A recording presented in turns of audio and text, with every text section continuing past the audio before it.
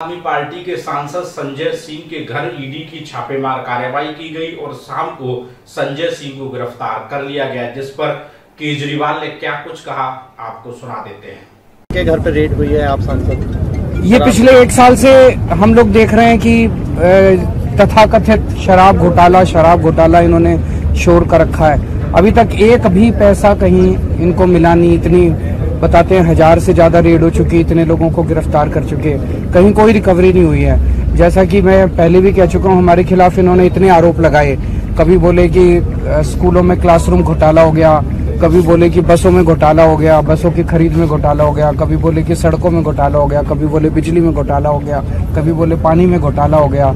हर चीज़ में इन्होंने इतनी जाँच करा ली। ये शराब घोटाला तथित तथा कथित शराब घोटाले का भी पिछले एक साल से जाँच चल, चल रही है। अभी तक तो कुछ मिला नहीं है। तो संजय सिंह के यहाँ भी कुछ नहीं मिलने वाला। बाकी चुनाव आ रहे हैं और 2024 के चुनाव में इन लोगों को लगता है कि ये लोग हारने वाले हैं। तो एक हार, हारते हुए आदमी के आखिरी डेस्परेट कोशिशें नज़र आ रही है। ये जो सब चल रहा है, कल पत्रकारों के ऊपर हुआ, आज संजय सिंह के ऊपर हुआ।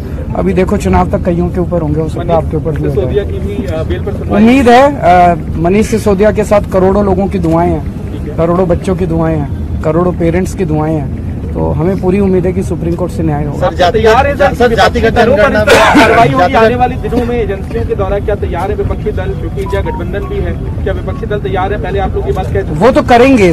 देखिए चुनाव जैसे जैसे नज़दीक आएगा वैसे वैसे ED CBI income tax police फलाना ढिमका ये सारी एजेंसी सब तरह के वो करेगी।